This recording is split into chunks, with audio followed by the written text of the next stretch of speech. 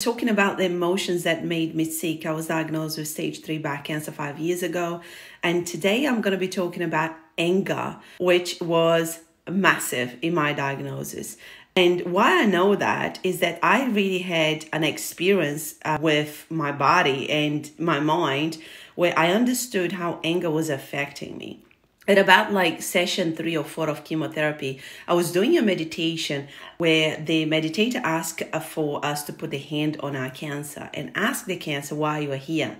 And interestingly enough, my cancer was no longer in my body. My cancer had already been taken out, but I was going through chemotherapy because I had an emergency surgery. But I put my hand where my gut is and I asked my cancer, why are you here?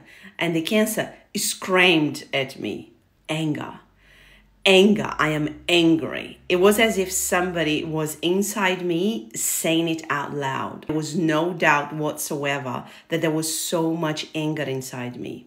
The crazy thing is that I had been holding on to this anger in, in my body and in, in my mind, in my heart for a long, long time. I'm talking about over 10 years. And in saying that, I think anger is an, an, emotion that moves us to doing things. You know, I was angry when I left Brazil, my own country, because I wanted to, things to be different, right? But this anger that I carry was, there was a lot of resentment behind. There was a lot of anger uh, towards my family, people that loved me and people that were very close to me. That wasn't really benefiting me at all, right? Anger is an emotion that it's almost like eating tap. It keeps eating you away. In the book of Brené Brown, which I really loved uh, her book about emotions, uh, The Atlas of the Heart, you know, she talks that anger activates our nervous system and can hijack our thoughts and behaviors, which, which happened to me, right?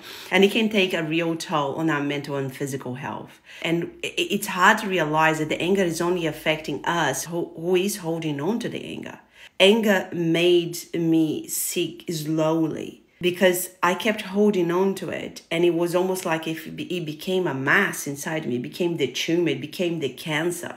And although they've taken the cancer out when I did this meditation, the energy of the cancer was still inside me. Because when I put my hand in my belly, you know, I had an answer, and the answer was screaming at me, and the answer was so clear and loud. For me, it was crucial to let go of the anger. And I know it's not an easy process. I've got a, um, a course that talks about finding forgiveness. It is a process.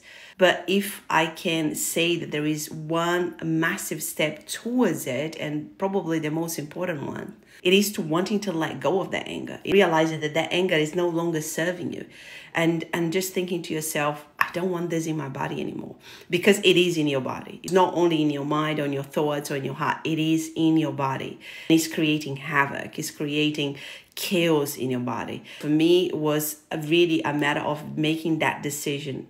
I'm ready to let this go. I'm ready to let go of all this anger. I no longer want to be angry.